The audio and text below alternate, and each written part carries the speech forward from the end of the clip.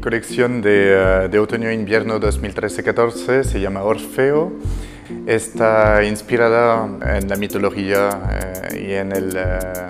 en, la historia de, de, Orfeo, pero a través del surrealismo. Hay una película que me ha marcado, una película de Jean Cocteau que se llama El Testamento de, de Orfeo, donde hace mucha referencia eh, a la estética de, de, la antigüedad, a referencias, por supuesto, surrealistas.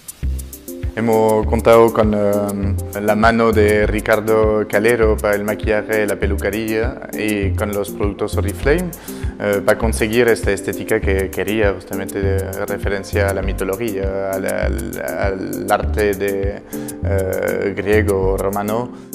En la estética general de, la colección eh, puedes encontrar eh, los drapeados de, las estatuas de griegas o romanas, pero puedes eh, encontrar también el corte de los años 40, de la época del surrealismo mm, europeo.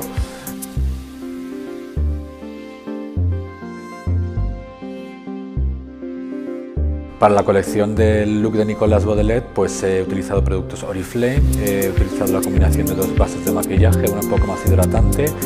aplicada por todo el rostro y otra con acabado mate para ciertas zonas, no he querido abusar del polvo, solo he utilizado un poquito de polvo suelto al final.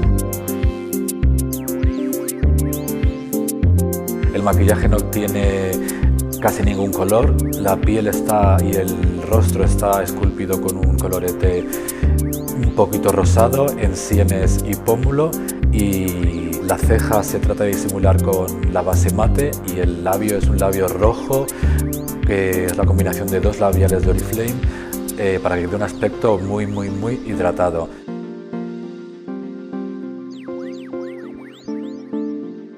El maquillaje se acaba con un poco de polvo suelto para matificar lo que es la zona del rostro y el pelo es eh, tiene un poco de textura, es un pelo muy trabajado para que tenga una textura un poco seca y que quede muy pegado y muy craneal, que es lo que Nicolás desea para esta colección.